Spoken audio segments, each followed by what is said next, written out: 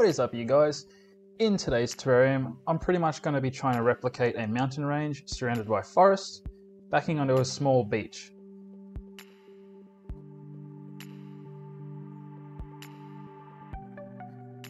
So for this terrarium, I've got three different colored sand because I'm also going to implement a different sort of a decor regarding the soil section of this terrarium, just so it's more aesthetically pleasing.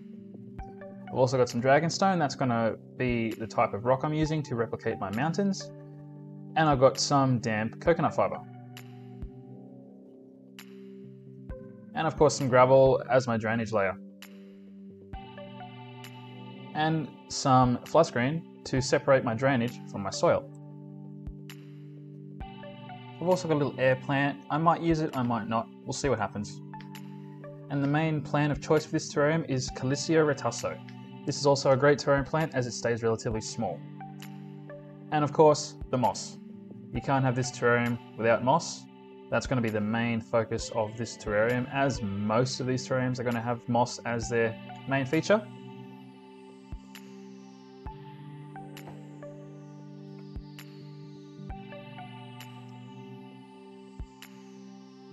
So firstly we'll add our gravel, that's going to basically be our drainage because the last thing you want is your terrarium to get really soggy wet soil if you accidentally overwater. It can get really fungusy, you can rot your plants and your moss. So I recommend about an inch or so of gravel does quite well for a drainage layer.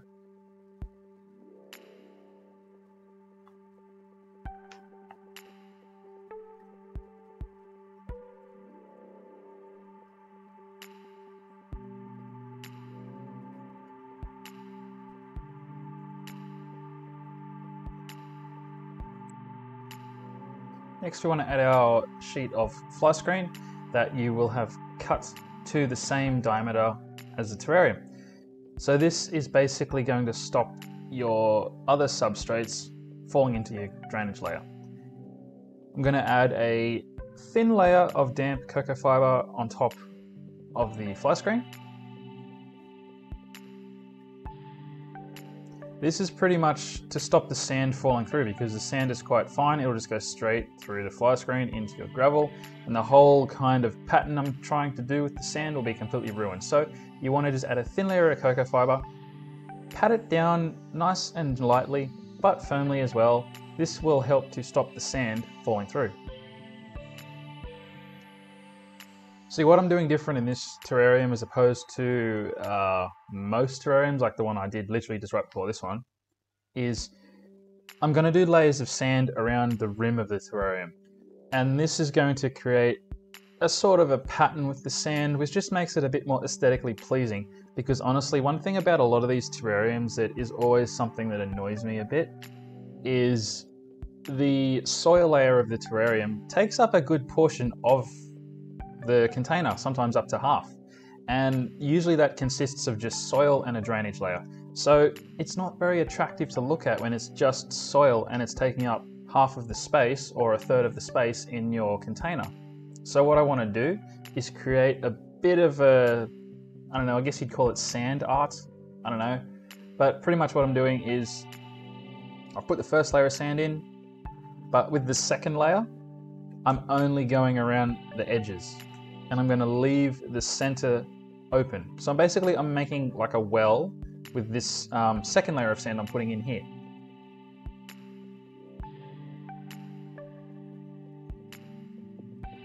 So you do want to go quite slowly because the sand is quite fine and if you go too fast it's very easy to over pour. And you don't want to be scooping it back out because you don't want to accidentally um, go in there with a spoon scooping and disturb the layer of sand and mix your two colors together because that will just ruin the whole kind of effect you're going for.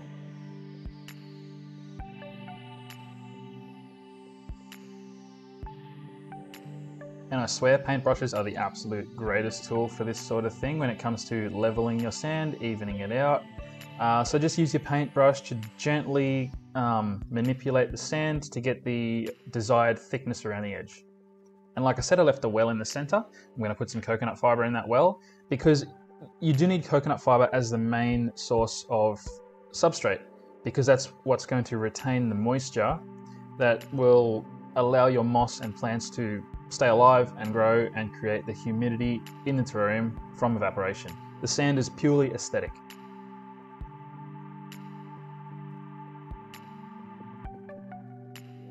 So again, you want to just lightly press that coconut fiber down.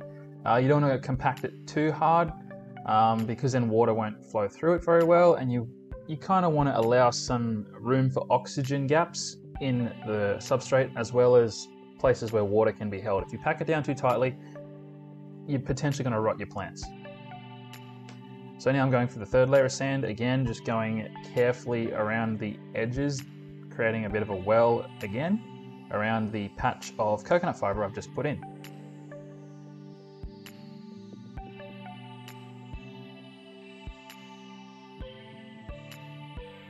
Once you're happy with the way it looks, it's time to add your rock. Now this first piece of rock you want to put in pretty carefully because again it's kind of touching the edges of the cylinder where my little sand art is and you don't want to disturb that and mix the two colors together. So when it comes to pressing that rock down, you want to do it very slowly and you want to be 100% sure it's in the spot you want it to be before you start pressing it down. Because if you twist the rock, you're going to mix your sand up and it's going to ruin the whole effect. So once you're happy with where it is, uh, just put some coconut fiber around it and lightly pack it in place with the coconut fiber. This will help keep it in position a bit better.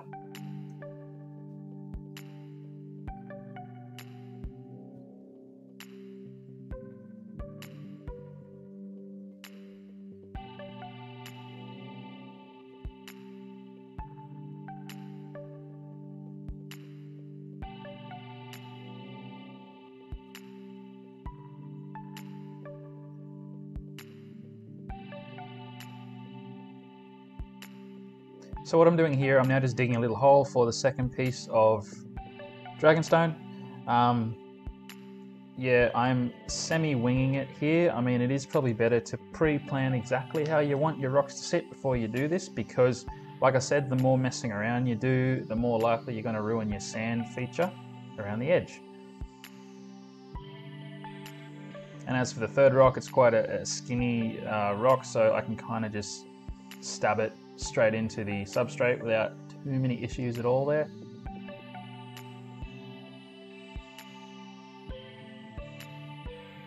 And again, just pack it in with coconut fiber as you go to help hold it in position.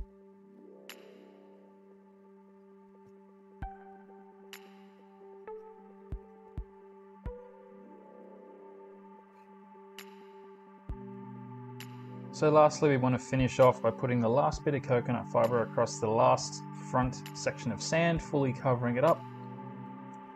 This very front section of the terrarium is going to eventually be the beach, where the mount, which is basically, um, yeah, I'm pretty much trying to replicate a little beach with mountain ranges and forests behind it.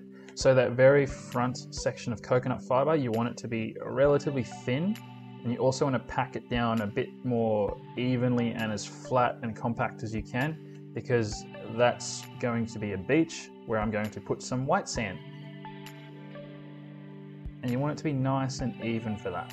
You also don't want that white sand to seep through the coconut fiber into your other layer of sand. So you want to pack it down quite well because I've found if you don't pack down coconut fiber hard enough, sand can kind of start to sink into it and it just doesn't look that good. So next you just uh, put your plants in. So I'm just digging little holes and planting my plants. These plants don't get huge, they keep that small size with their small size leaves. They will get eventually too tall for the terrarium still, but you can prune them back and they'll just regrow from where you've cut them, so not a big deal. And of course I'm adding my moss. I've got a few different types of moss. Um, I actually don't know what sort of moss they are because they're mosses I've just collected from outside. But I do know that the one I'm putting in right here at the front stays very short and compact. So I'm putting that type of moss at the front of the terrarium where I've got various other types of mosses that do get a little bit taller. They get about an inch tall eventually. So they're going to go more towards the back of the terrarium. replicating forest behind the mountains. One lovely thing about the moss too is you can just cut it to the exact size you want with a pair of scissors and slot it in exactly where you want it to go. So it's a very satisfying thing to put in your terrarium. It just fits like a jigsaw puzzle when you cut it right. So also with the moss, you do want to make sure that if you're using moss that you've taken from outside to only water it with either rainwater or distilled water. You can buy distilled water from the grocery store. If you have an RODI water filter in your laundry or kitchen, you can use that. Or ideally, use rainwater. Uh, don't use tap water because moss cannot handle chlorine and moss can also not handle minerals, which tap water has. Tap water has a very low level of total dissolved solids different minerals plus chlorine and these things moss just can't handle. It just dies. So you need to use pure distilled or RODI water or rainwater. This is because the way moss grows in the wild it just um, grows on rocks and logs mainly. It's collecting rainwater and water evaporates and condensates on the moss as well when it's a humid day. And that's the only water it gets. And that water is completely free of all minerals and that's pretty much what it's used to and it can't handle any other type of water. So when you do mist your terrarium, just make sure you do that and get the right type of water. So and next I'm adding my white sand, and as you can see, it's, yeah, I over poured a bit. It, fell out of the container a bit quicker than I wanted.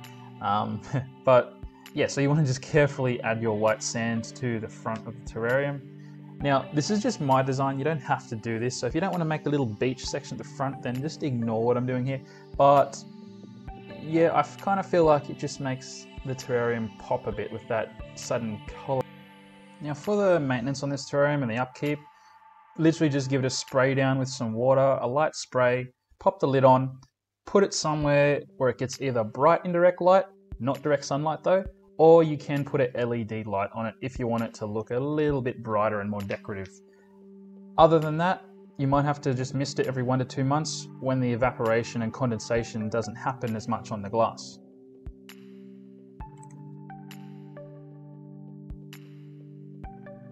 So also regarding, um, again, the moss and, and what water you can and can't have with it, this is partly also why I'm using coconut fibre as opposed to just any old potting mix, because if any old generic potting mix, they're kind of a bit high in nutrients and sometimes they have magnesium and Epsom salts and sodium mixed in them depending what one you get, which will of course upset your moss and it won't do well at all. So coconut fiber is great for moss because it's completely nutrient and mineral free for the most part.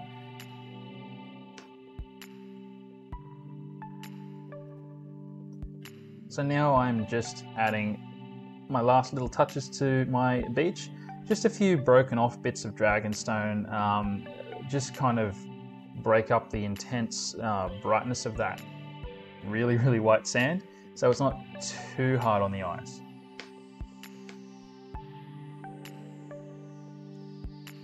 And that's it, pretty much done and dusted. Um, this whole terrarium took me roughly about an hour or so to make. Um, it's a little bit tedious and fiddly, but it's a lot of fun. And it's not that expensive to make because you can go out and collect your own moss. You don't necessarily have to buy Dragonstone. You can use any old rocks you want. Dragonstone just kind of replicates mountains quite well because of its honeycomb sort of structure and shape, and it's it just really, looks really good as a mountain replicating sort of rock. Uh, but you can use any rock you want. And the glass jar itself, well, it's not really a jar, it's more like a, a cylinder, I guess. It cost me like $15, so these are really cheap to make. Anyways, guys, that's it for me. If you've enjoyed this video, don't forget to leave a like, hit the notification bell, my Instagram's down below, follow me there as well. But until then, I'll see you in the next one. Bye-bye.